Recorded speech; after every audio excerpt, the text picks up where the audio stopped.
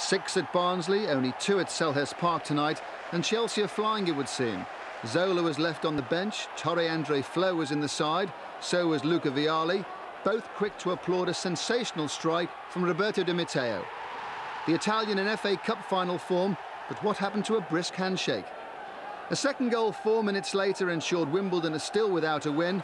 Flo going towards the byline, Dan Petrescu made it 2-0. For Wimbledon yet again, it was a story of missed chances.